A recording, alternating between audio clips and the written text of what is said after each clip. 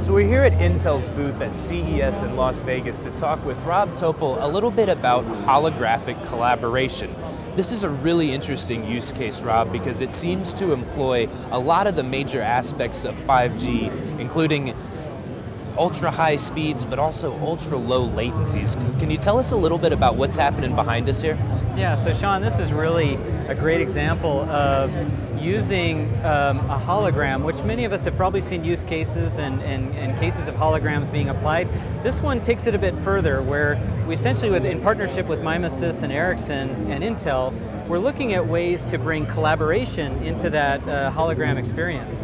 And so what we're doing is we're using a 5G connection, uh, using uh, working with Mimesys on a software stack that gives these users behind us the ability to collaboratively assemble something. And in this case, what they're doing is they're assembling a drone and they're taking different pieces to where they can essentially use a six degrees of, six degrees of freedom functionality and pick up those pieces and even collaborate where they can hand those pieces to each other and essentially work together on assembling something. So it's kind of a cool way of seeing the way that, as you said, 5G can bring low latency into the uh, use case, but also utilizing the broadband as well. And this is uh, another part of the edge story that's been so prominent here amongst the discussion with some of Intel's news items and demonstrations. AR and VR, they've been these concepts that have never really hit the mainstream because the connectivity just wasn't there, particularly in regard to wireless. But now as we see operators launch early commercial 5G networks with plans to scale out from there, it seems like it's ready for prime time. Yeah, at, at, Intel we've always believed the computing capability is there and the performance we drive through our platforms, but now having a connectivity platform that essentially can match that, both with the multi-gigabit uh, speed connections, but now seeing latency in less than a few milliseconds, when bringing those two together, you have an example here where uh, a hologram can be used to essentially bring remote users close together in a collaborative environment. Now it, it essentially breaks down the walls of mobility and space and uh, displacement of where people are.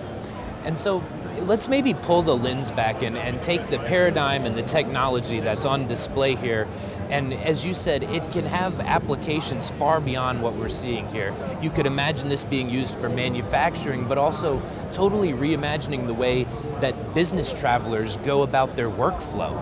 Right, so as I said earlier, think of the main focus as being how do I bring something that is remote or something that is isolated into more of a collaborative environment where essentially the location where you are, you can be location agnostic. And that's the wonderful opportunity of what we're showing here. This is an early example where just seeing the collaboration between two people who might sit next to each other now, but this can easily be rendered where they are thousands of miles apart. The ability to bring them together um, is, first of all, a great consumer experience, whether it's about media or gaming or any type of interaction with uh, family members or others but now upscaling that into an enterprise and an industrial environment where essentially it can be used for remote analysis, surveying, um, it can be used for um, essentially solving problems that, uh, uh, with two groups that maybe are quite a bit distance away. 5G will essentially be that connected fabric that brings them together. And it essentially brings a new level of the type of display resolution, the rendering, the, the, the real experience that's going to come through this type of use case over the next couple of years. So as 5G really comes to life and the uh, adoption base expands, what do you see as the adoption curve for enterprise and industry as it relates to this type of technology? Do you think that they will immediately recognize the value that that can bring to their organization, or do you think there will be something of a learning curve? I think, I think they will immediately recognize it as we give them opportunities to field test, to trial the technology you know, in their facilities. Intel believes heavily in focusing on field testing, real world applications of new solutions like 5G, and so we would want to set up you know, the right use case partnerships, go into a real world industrial environment, a factory, into um, uh, any type of enterprise location, and essentially show how the technology can be used to either bring uh, reductions in cost of certain expenses that might be there, to eliminate any type of redundancy. Um, we see tremendous productivity and efficiency that comes from these technologies, let alone just the excitement of the immersive opportunity that it brings. Well, Rob, it really is a compelling demonstration, and I really look forward to seeing how Intel and their partners bring this into the market and really drive change. I am too. I'm very excited for the opportunities that are ahead of us. Thank you, Rob. Thank you.